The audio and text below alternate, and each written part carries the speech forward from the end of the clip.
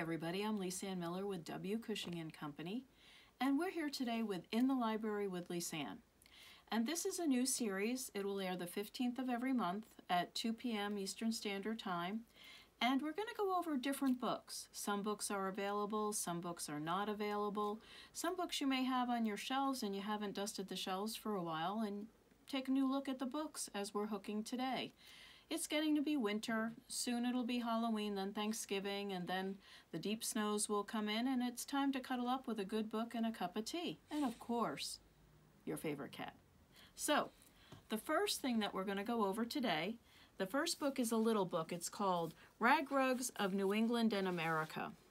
And this was done by Emma Tennant. It's, a, it's from the Decorative Arts Library. And it's a it's a little book, but it's a little book packed with a lot of things, and it gets overlooked quite a bit. Um, but it's not. It's an interesting book. It's an interesting book on history. But I'm just going to turn into the inside front cover here and look at this inside front cover. Look at the two, look at the moon, look at the sun, the way they hook the face. It's just adorable. It's a good reference tool for you. It shows you how to do it, how to do it correctly. And with little with little shading, little color. This is one of my favorite paintings. Uh, this is a British painting that you can barely see, probably. It's very dark in the book. And it shows a clipped rug or a proddy rug. And this is an old, old painting. When you get the book, Make sure you look in here and look at the painting, everything around it, and read it. Uh, it, it, it gives you the whole demeanor for the book. It's just wonderful.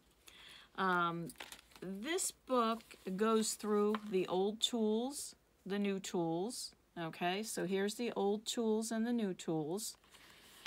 It shows you very different rugs. This happens to be a beautiful rug, a union rug. Okay, it shows you, look at the border. I want to go back and look at the border, how it's uh, uneven, just lovely, uh, really lovely.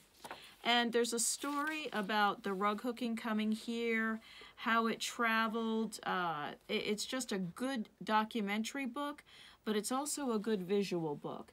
Here's an old rug. Great rug. The use of color. Now, this is one of my favorite things right here we're going to look at. Look at these houses, and those that have seen pictures, this is a hooked rug from New England, and look at the houses, look at the trees, not a lot of color, maybe four or five stripes and a brown, the way the house is outlined, the use of the color, uh, it is just wonderful. And if you're going to hook a village or hook trees, this is a great reference. Uh, it's a good reference. And we have a lot of pictorials, dark, light, you have to look through them. Uh, some geometrics, some we've seen before. We even get into some scrolls and roses.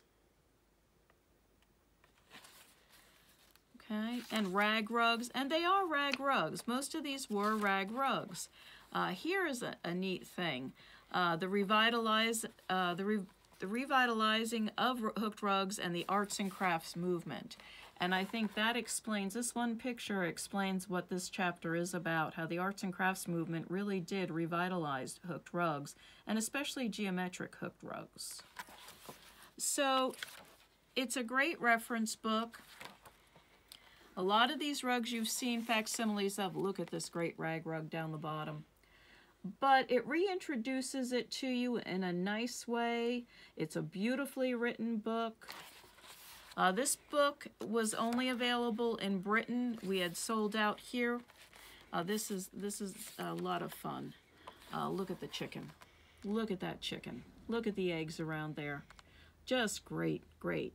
Uh, so I was able to get a few copies of the book and we will have them up. And we even get into um, the Grenfell designs, and this is an unusual Grenfell design. So if you want to learn more about fashionable folk rugs, where how the rugs came to be, uh, this is a sheared rug, and look at that sheared rug. It says 18 something on it, and it, it's just wonderful. But it also gives you a good synopsis, a good history. And this is the glossary of rugging terms. And I really like that. And if you feel like, um, just say you're in Yorkshire or in Scotland, there's a tatty, a proddy, or a peggy rug. Really great information. Uh, and it's wonderful. Again, this was available in Britain. We got it brought over here, and we do have a few available. But wonderful rag rugs of England and America. Great overview, great history, great reference pictures. Uh, the back cover is, again, one of my favorite showing the outline, how they hook the windows, and look how they did the lines in the trees. But just a great book. Great book. Course, my next favorite book, I couldn't open this up without my favorite book of all, Rugs for My Red Cape by Edyth O'Neill. This hap this when I read this book from cover to cover and I didn't put it down, it changed the way I hooked. And I was able to thank Edyth O'Neill in person. It was a great moment for me great moment for me.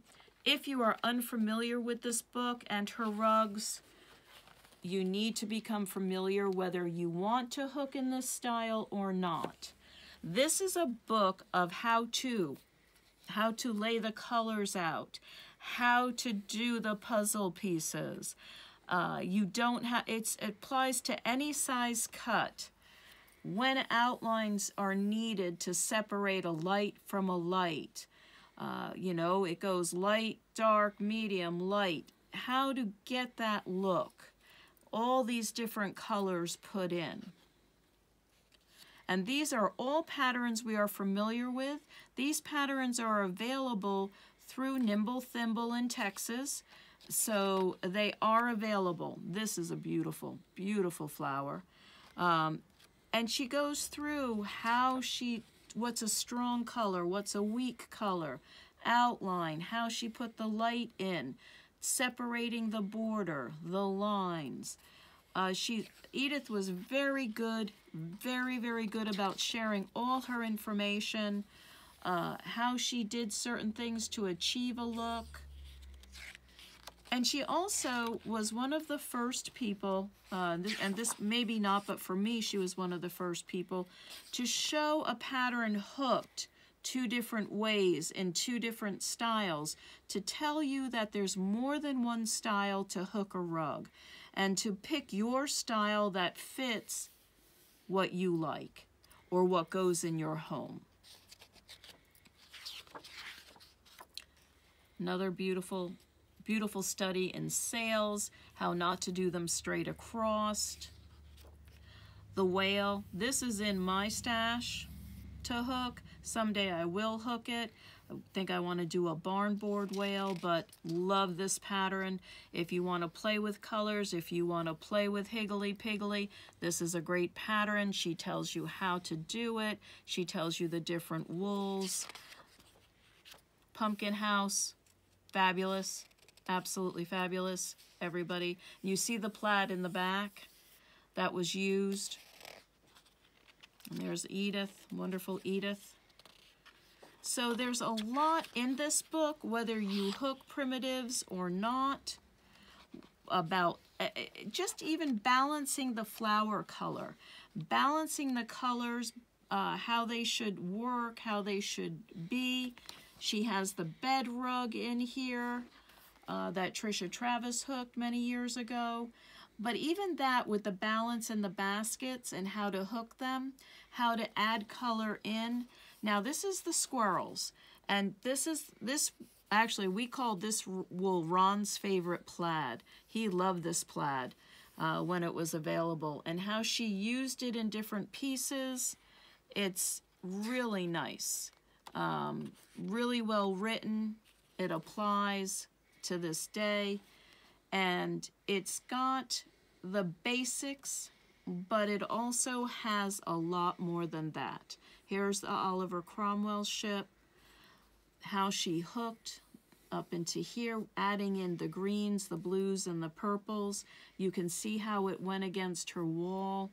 Um, and notice her water is not blue, it's green how these are little whales and everything that are hidden in there. Again, any size cut, anything that you would like. It's not just for primitive rug hookers. This is not just for primitive rug hookers. So this book, uh, I believe if you go up on her blog, can be done in a PDF download if you are so inclined. We do have a few copies. This book is very, very hard to get, so if you have it, hold on to it. We do have a few copies that we will have up on our website. All the books will be available on the website. Um, and this is one thing I wanted to show you. I was looking for this on page 94. This is one of her trees. And if you look at how this was hooked, and every a lot of people have trouble with trees, this is how I studied and learned how to hook trees for the first time. There's a lot of different colors, but look how she went around in a circle, around. She didn't go up and down. She layered the colors right on top to create that tree. And if it doesn't matter the cut, it doesn't matter if it's texture or dyed, the direction of hooking, the things that we talk about, and the colors and how they sit up. This is a great visual. I know a lot of us love the visuals, we need the visuals, and that is one thing that taught me how to hook trees. So, Rugs for My Red Cape, to me, if you don't have it, you should have it it, it's a just a necessity. Um, it's timeless. This book is absolutely timeless. And it also goes in a little bit into the antiques, but it's really a good, good reference book. Hard to get. Some of them are signed, some of them aren't but just a great book. I wouldn't have, I, this is one book I would say if you had to have in your library, have this book into your library. Again, if you need the patterns, they're available through Nimble Thimble, Katie Hartner. So if you fall in love with the patterns, then you can also get them as well. So these are the two first books that I chose. I chose them because they're books that I use. Uh, they're books that I use to reference. They're books that I use to teach from. Uh, they're books that you can also learn from and learn the use of outline, when to use it, when to not, uh, how to balance a multitude of colors in your background without making it look choppy. Just different things right down to the pine tree. So I hope that in the library with Lisanne will be beneficial to you, that you've learned something, or that you've decided you need another book or relook at a book in your library. And we'll bring another set of books next month. If you have any books you'd like me to look at or talk about, just email us at orders at wcushing.com and we'd be happy to. So I hope everybody is well.